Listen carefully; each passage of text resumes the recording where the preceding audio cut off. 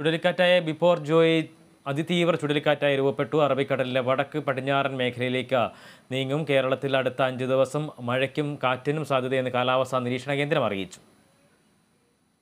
അറബിക്കടലിൽ ചൂടുയർന്നതിനെ തുടർന്ന് രൂപം കൊണ്ട അതിതീവ്ര ന്യൂനമർദ്ദം തീവ്ര ചുഴലിക്കാറ്റായി രൂപപ്പെട്ടു കഴിഞ്ഞു. ബിപ്പോർ ജോയ് എന്നറിയപ്പെടുന്ന ചുഴലിക്കാറ്റ് കേരള തീരത്തെ പ്രത്യക്ഷമായി ബാധിക്കില്ല എങ്കിലും ശക്തമായ മഴയ്ക്കും കാറ്റിനും സാധ്യതയുണ്ടെന്നാണ് കാലാവസ്ഥാ നിരീക്ഷണ കേന്ദ്രത്തിന്റെ മുന്നറിയിപ്പ്. മണിക്കൂറിൽ നാൽപ്പത് മുതൽ അൻപത് കിലോമീറ്റർ വരെ വേഗത്തിലുള്ള കാറ്റ് വീശാനുള്ള സാധ്യതയുണ്ടെന്ന് മുന്നറിയിപ്പിൽ പറയുന്നു. ആലപ്പുഴ എറണാകുളം ജില്ലകളിൽ ഇന്ന് യെല്ലോ അലർട്ട് പ്രഖ്യാപിച്ചു. മധ്യകിഴക്കൻ അറബിക്കടലിന് മുകളിലുള്ള അതിതീവ്ര ചുഴലിക്കാറ്റ് തുടർന്നുള്ള മൂന്ന് ദിവസം വടക്കു പടിഞ്ഞാറൻ ദിശയിലേക്ക് സഞ്ചരിക്കാനുള്ള സാധ്യതയുണ്ടെന്നാണ് കാലാവസ്ഥാ കേന്ദ്രത്തിന്റെ മുന്നറിയിപ്പ്. കാറ്റിന്റെ വേഗത നൂറ്റി എഴുപത് കിലോമീറ്റർ വരെ ഉയരാനും ഇടയുണ്ട്. അടുത്ത മൂന്ന് ദിവസത്തേക്ക് മത്സ്യബന്ധനത്തിന് പോകുന്നതിന് കർശന നിയന്ത്രണം ഏർപ്പെടുത്തിയിട്ടുണ്ട്. കടലാക്രമണത്തിന് സാധ്യതയുള്ള സാഹചര്യത്തിൽ തീരപ്രദേശങ്ങളിൽ താമസിക്കുന്നവർ ജാഗ്രത പാലിക്കണമെന്നും കാലാവസ്ഥാ നിരീക്ഷണ കേന്ദ്രത്തിന്റെ മുന്നറിയിപ്പിൽ പറയുന്നു. കഴിഞ്ഞ രാത്രി മുതൽ സംസ്ഥാനത്തിന്റെ വിവിധ ഭാഗങ്ങളിൽ ഒറ്റപ്പെട്ട മഴ ലഭിക്കുന്നുണ്ട്. വരും മണിക്കൂറുകളിൽ മഴ ശക്തി പ്രാപിക്കുമെന്നാണ് കാലാവസ്ഥാ കേന്ദ്രത്തിന്റെ മുന്നറിയിപ്പ്. Kerala vision news Thiruvananthapuram.